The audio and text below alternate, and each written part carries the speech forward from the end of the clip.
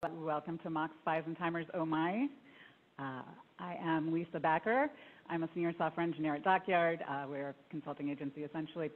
This is my family. You can tell a couple, uh, well, at least one thing here that I do wear Ember clothes in like the real world. Um, and then uh, my husband, my two kids, and of course my in-laws lining the back.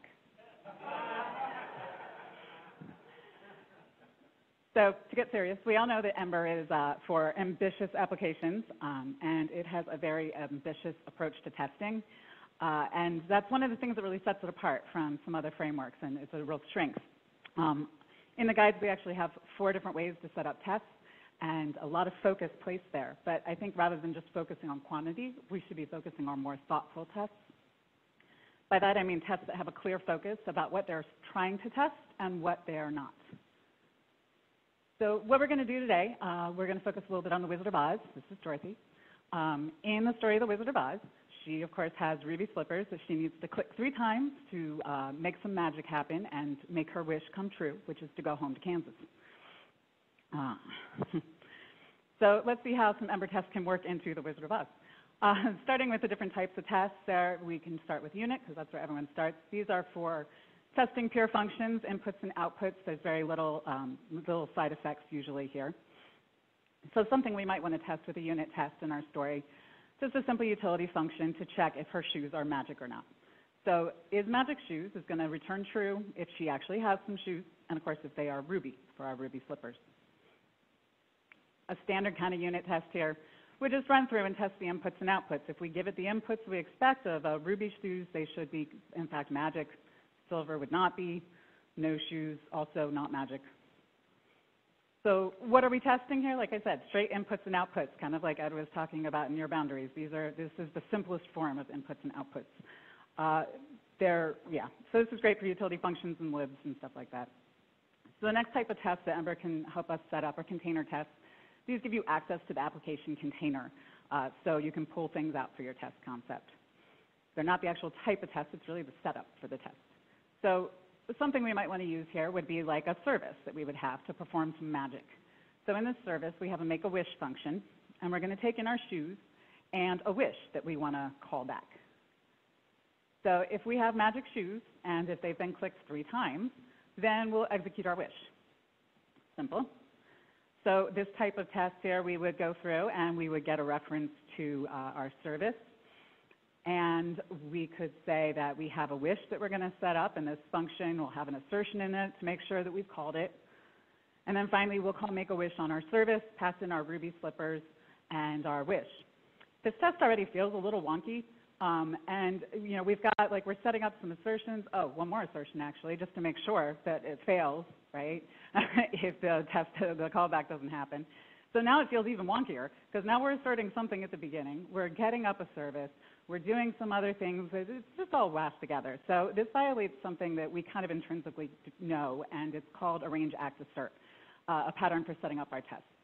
Typically, uh, you want to arrange, so you arrange all your preconditions or set up the scene. And then you perform some actions, then you actually assert you got what you expected. Uh, this is same thing as given, when, then if you do BDD stuff. So back to what are we testing? What are we trying to test here? We're really trying to test that with our magic shoes, we, we get our wish called, right? Um, in this case, we're still just testing inputs and outputs. The container test, it could have been a unit test or an integration test if we were dealing with some other kind of service as well. That's, that's a separate type of lingo.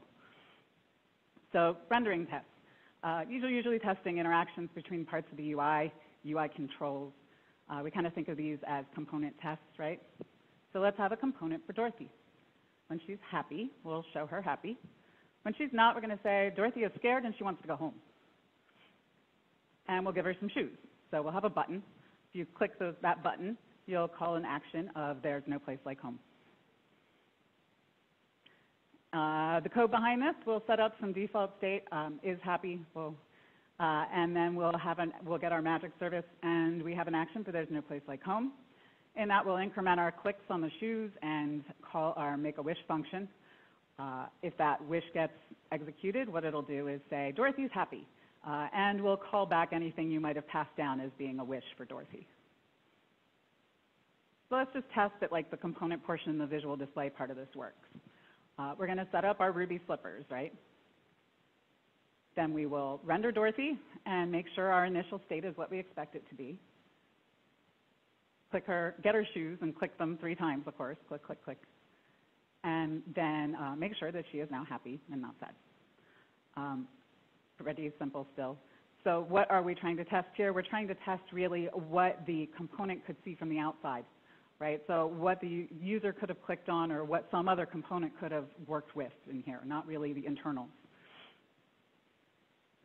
Finally, the last type, the biggest type, are application tests. These are usually testing the application flow, right, and user interactions. Um, they're good for testing out a full store, user story.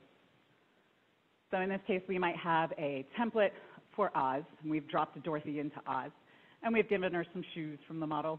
Uh, and then we pass down an action uh, when we make a wish to go home. And then on a controller, we could have an action that says go home. Uh, in this go home, we'll transition her to Kansas. So to set a test for this Make-A-Wish um, user story here, we're going to go ahead and create a model with our Ruby slippers in it so that we can pass that down. We're going to visit Oz. We're going to click her shoes three times again. And then we're going to make sure that she is now in Kansas as we expect her to be. So finally, what are we testing in this one? This is really the flow and the routing and stuff that your user, end user would have interacted with. So how many of you, first of all, how many of you knew that The Wizard of Oz was a book more than three days ago? how many of you know what color the slippers are in the book? Anybody want to shout it out? Very good. so, they are silver shoes. They made them red in the movie just because it popped more, uh, like animation. Yeah. So in the movies, they made them red. uh, it was kind of like the, or one of the earlier color movies. It just was a, a film choice.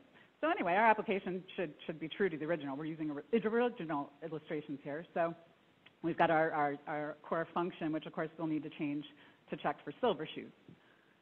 And then, as expected, we would need to update our unit test because now Ruby should be false and silver should be true our container test, now we're going to have to go ahead and, and change that one to silver.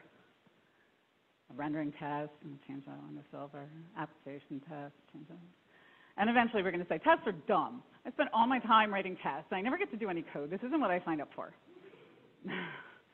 and it's really that we've let everything leak all over the place, and we have no boundaries to what we're testing anymore.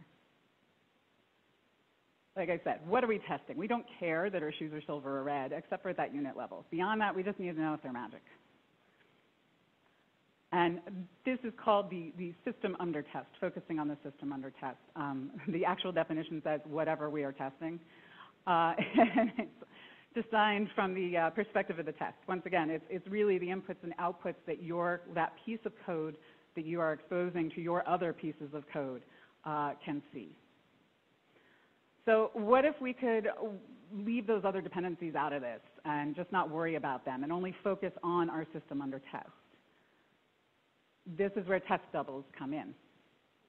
So test doubles, or munchkins, um, they were originally named for stunt doubles.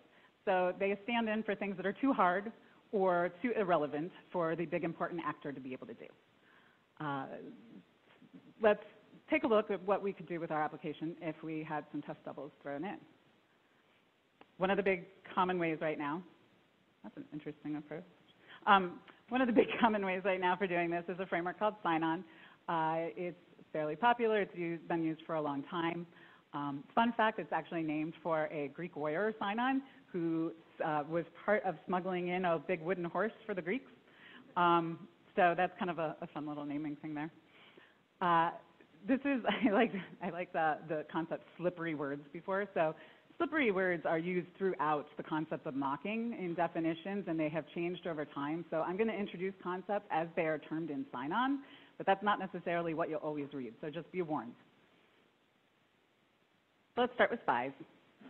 Uh, a test spy can record information about a function that's called. It will record how many times it's called, what it's called with, what the this is at the time it's called, uh, any exceptions, all of that. It doesn't do anything about it, uh, and it still lets the call go through in Sinon, but it does record the information about it. So here we had our, our wonky test, right? Yes, this is our wonky test. So we have our, our, our assert at the top and our wish going on and all sorts of strange things. So let's clean this up with a SPY instead. We're going to use Sinon to create a SPY. Uh, and then we're going to get our service. So now we've done our precondition, we've done our range. We're going to do our actions, which is we're going to make a wish on our service. And then we're going to assert that our wish was called once. So now things feel a lot cleaner. That's called an anonymous SPY uh, because it doesn't actually wrap any particular function. We're just throwing it in there to see if it's getting called. Uh, SPYs can also wrap, and one thing I'm doing here, which I actually didn't realize was not an Embury thing until today, um, is to import star from shooutils. So what I'm doing here is to be able to get a reference to shooutils so that I can refer to the functions that are defined on it, uh, because I really want to get to that is magic shoes. So I'm going to create a SPY, and I'm going to tell it I want to spy on shooutils, and specifically on the is magic shoes function. And then I'm going to render Dorothy. Sounds weird. Um, going to get a reference to her shoes, click them three times, and then uh, first of all, make sure she's happy still because it did go, the call did go through.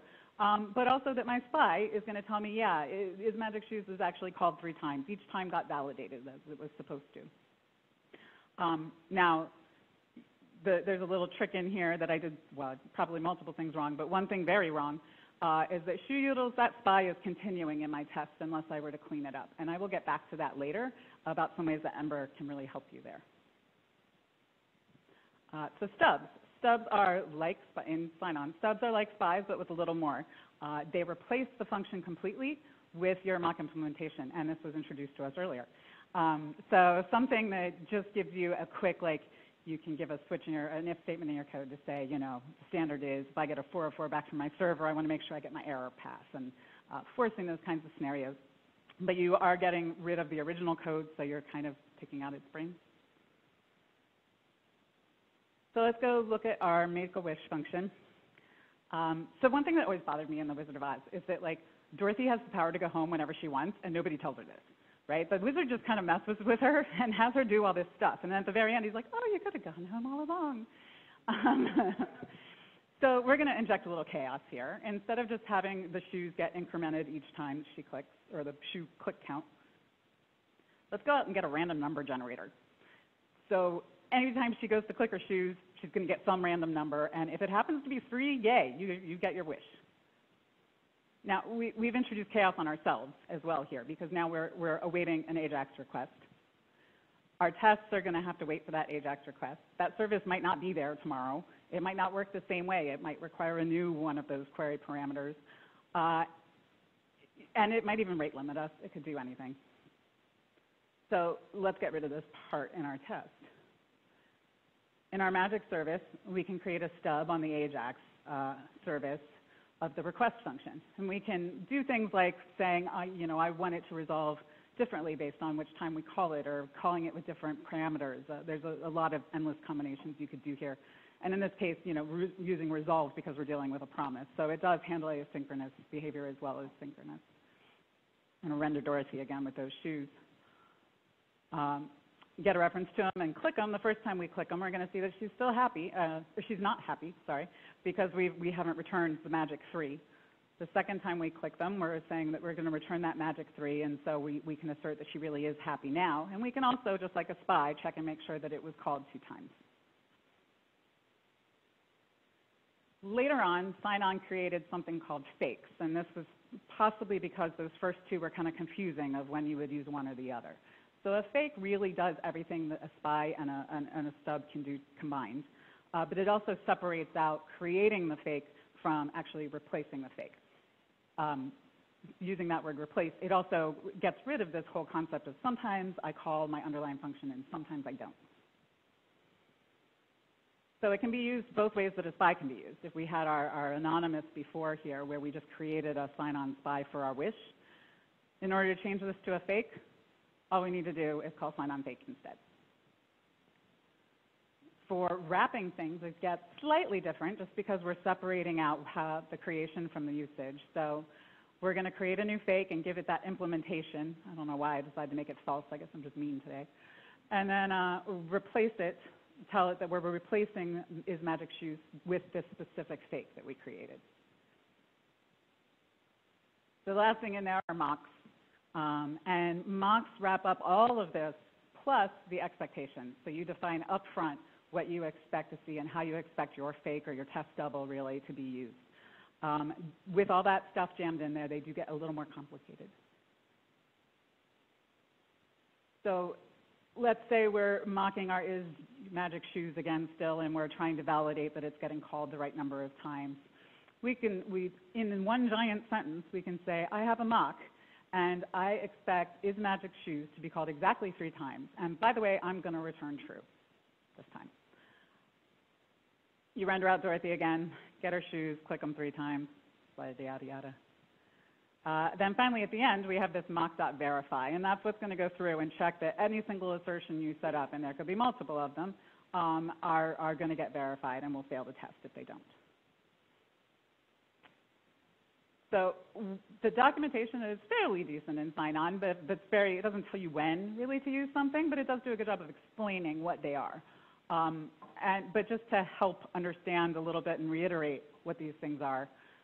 So a SPI, it's great if you want to verify that a callback was called or uh, with specific inputs and such. A stub is great when you need to simulate different responses from something that's either complicated or you, it's hard to get to or, or really just hard to set up in your test. A fake is when you really just can't remember whether to use a spy or a stub. It's, it, that's, that's really the one you like. and mocks. Uh, if you like setting up your assertions at the beginning and you don't like a range act assert, you know, great, this is for you. It's, it's not one I use very much, so I, I definitely recommend just sticking with fakes. Now, timers, one more thing that Sinon can do that uh, I have to get into a little bit here mostly because it's in the title of the talk. Um, Sinon has the ability to essentially stop time for you. Uh, it, it actually does a little bit of magic. So when you use Sinon's fake timers, which is also the same as using Lolex, if you've heard of that, Lolex is the underlying library that Sinon uses that can be used independently. What it'll do, it'll go ahead and take all of these different timing functions that you use in JavaScript and replace them with its own, essentially, test doubles. Um, this can be really helpful if you're trying to test some sort of function, uh, either to speed up something, right, that's going to take a while in your test. It can also be helpful if you need to stop and test that something happened at a particular point and then continue the functionality after that. Say user interacts with something and it doesn't clear or whatnot. So for a very simple example here, um, Dorothy was able to go home to Kansas after she clicked her heels. Well, this is a movie. This is the end of the movie. This is like the big part. You don't want to just send her there. That's, that's so anticlimactic. We need to give her some suspense, right? So we're going to wait five seconds and say, will she make it? And then we'll send her to Kansas. So I want to test this. I'm going to go through and, I, and I'm going to go to Oz and I'm going to click her heels three times and I'm going to make sure she's still in Oz. And I don't know what I'm going to do here. Somehow I'm going to wait and then I'm going to see that she goes to Kansas. Uh, if I was going to use fake timers to help with this, I would call Sinon, use fake timers, and I get a reference to what they, what they generally refer to in the docs as the clock. Go to Oz, click the shoe three times. Uh, now I can check that I am still at Oz. Then I can use my clock. I could either run it ahead a certain period of time if I wanted to say after one second she's still in Oz and after two seconds, or I could just say run them all, get it to the end, and I just want to see the end result of all my timing things catching up. Um, I'm doing it an await settled here so I can give Ember some time to go ahead and do the transitions, and then I'll check that she's in Oz. Now, there are some, uh, be happy to talk to you later if we have something.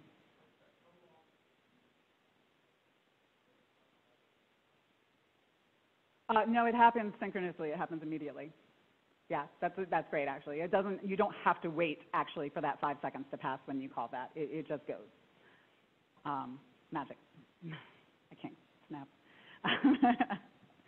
anyway, sorry. Uh, where were we? Oh, there are some weird things when you get into dealing with the Ember run loop um, and timers, and uh, it, it, totally can be done. but there, there are definitely some oddball things. There's some posts on. Ed's blog that we've done about it, and I'm sure there are people here that have written some tests, and I've, I've been told that Lolex is even used in the Ember test, so they, they understand the dragons. So how do you Sinon in Ember? There's, uh, if you go to Ember Observer and you search for Sinon, there's several add-ons that come up, so I just want to give you a quick tour of what those are so that you know what, what's what there. Uh, Ember Sinon is basically the wrapper for pulling in Sinon. It's kind of a base level package. There's Ember Sinon QUnit and Ember Sinon Chai were both uh, kind of created as the, the different flavors of that initially, I think. And then the Chai one got deprecated for Ember CLI Chai, and then this again is just a wrapper. It's just pulling things in. So you're still, if you're going that route, you do still need to deal with cleanups. You do need to deal with all your tests set up. You'll want to look into something called Sinon Sandbox. Um, these are all things that you'll have to worry about. For that, there's a uh, add-on called Ember Sinon Sandbox that was mostly concerned, I think, with trying to set up that sandbox appropriately and provide it to you. Um, then it became Ember Sinon Sign Off to make sure that you would get, that you could, I, it's a great name, um, to make sure that you could actually clean up from all your tests and try to, to tackle that story for you. Um, and then all that got wrapped back into Ember Sinon QUnit. Uh, and fairly recently, there was a new release there where it handles um, both setting up all your setting up Sinon for all your tests, cleaning up all of your state afterwards so you don't leak into other tests, uh, and also exposing Sinon directly for you so that if you're anything you see in the Sinon documentation, you have access to as opposed to some proxied wrapped version. So there are other things out there. Uh, there is Test Double. It's kind of a relative newcomer to the scene, and uh, part of it seems to be a response to Sinon's complications. Uh, this was written um, as more of a minimalist approach, and actually they declared it to be their opinionated test, test system. So um, I know we like opinionated things around here. Uh, basically, they thought, you know, there's too many overlapping types, and it leaves people overwhelmed and confused. So hence the opinion just some quick features of test double. Basically, all that Spock, uh, spice, stubs, and uh, fakes all get combined into a single function. So you have, if you import it as TD, for example, it'd be TD.function. It also can do uh, simple replace language, just like you know what you saw in the fake section in Sinon. Uh, and it's always replacing, which I probably put later in the slide.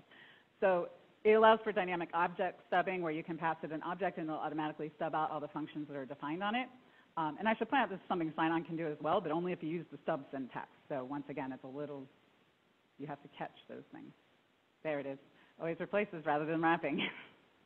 so there's never this confusion about am I going to call my underlying code or not. It's just always going to replace it. Um, in addition for its introspection, and in addition to just getting your call counts and getting um, you know, what you called with, it also gives you a nice way to summarize uh, how your test double is set up. So you actually want to print out, for example, what's going on with this thing. You can, you can see.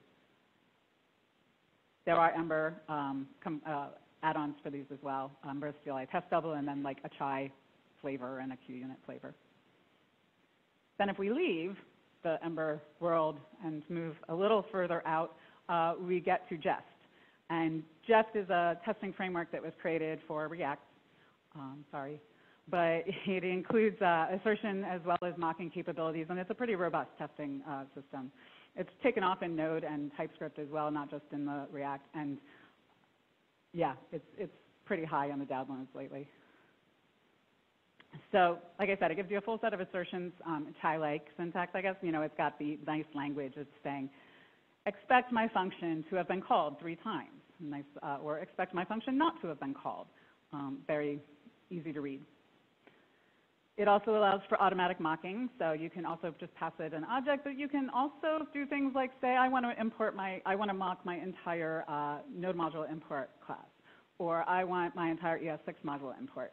So those kinds of things can be really handy if you, you don't want to sit there and try to match up each thing. Um, they can be handy for maintenance, as I'll get to later as well.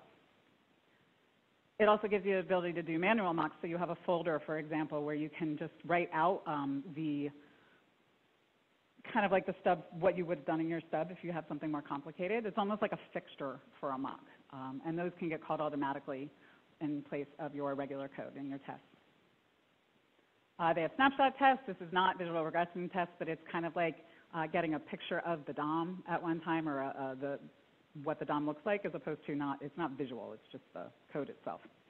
Um, they can include test coverage. The big gotcha here, though, is it doesn't run in the browser. Uh, it's, it's really, it's a node thing. So there, are some projects called Jest Lite um, that they've started to look at taking things into the browser uh, that it's, it looks really promising. However, it doesn't have the mocking capabilities so much as more the assertion library. But I, I would love if it could do more. So if you go seek the elders or read on the internet some stuff about mocking, you're going to find out that there are some people with strong opinions and they like controversy. And they're going to say mocking makes refactoring harder, or mocking is a code smell, or one more click, mocking violates dry. All right, two more clicks. Um, so first of all, you should understand that anytime these people are talking about mocking, that they're mostly talking about test doubles in general, not about mocks specifically. They're also generally uh, talking about unit tests, even though we're using mocking mostly in, in other types of tests. As far as making refactoring harder, um, generally, as long as you're looking at the boundaries of your code, sometimes that is internal that you're changing the boundary of that piece of code, and it makes sense your mocks are going to be up, updated there. But those auto-mocking capabilities, these can help a lot here. As far as mocking being a code smell, uh, really, again, if you try to limit yourself to the public API. For example, if you need to test that something is available in your component, maybe don't just test the specific hook that you set it up in in Ember, but test that when you need to use it, it's there. Um, they can also be a little bit of a canary in the coal mine, though. If you have a really complicated mock to set up, that does indicate that your code's pretty complicated. Um, that might be necessary complication, but it might be something you can, you can simplify.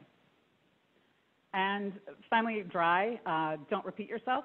So this concept is really intended to be a single piece of knowledge that shouldn't be repeated, not separate lines of code that shouldn't be repeated. There are times in tests where you will find yourself repeating a couple lines of code, and that's okay. You're making your test readable. Your tests are kind of your documentation. So uh, a good practice I'd like to leave you with here is, uh, and, and, I'm not going to rip on Matt a little bit here, don't mock what you don't own. so uh, it's not intentional, but uh, it sounds very counterintuitive. Things you don't own are things that you actually usually kind of mock, right? Like your API and your database and your HTTP calls and whatnot. But what this really means is that you should be building a wall between your code and that stuff. Um, and a common approach to doing that in Ember is to have a service. So your code is going to talk to the service, and the service is going to talk to those things. That way you can preserve your own little public set of, your set of inputs and outputs. You can test the service, and then when you test your code base, you can throw in your mock. So uh, in our example of chaos, we had that AJAX function. It's screaming to be pulled out. So we can create a heel click service instead, give it a nice, uh, nicely named type of thing like get click count, and then call off and do our random stuff. It makes our code a little easier to read because now we're just saying heel click count instead of some weirdo AJAX thing. And finally, when we're stubbing it out, instead of stubbing AJAX request, which felt a little funky, now we're going to get our heel click service and we'll stub that out. So once again, everything reads a little nicer because we're giving it our own application names instead of relying on some third party's thing. Uh, one thing to watch out for people tend to throw in a lot of extra mocks when they are trying to get that magic 100% code coverage number. Um, don't go for 100%, 100% please. Uh, really, a, good code coverage number does often happen with good code bases and good test suites. Um, but I really like to use them more as a baseline. So as I'm making changes to my code to make sure that my, my coverage isn't going wildly up or down, I mean, I guess up is good, but wildly down is bad. Um, and that often happens when you start to try and jam things in. Really, it all kind of comes down to, again, what are you trying to test? What are the boundaries of your piece of code? And how can you test just that part and make those other things irrelevant?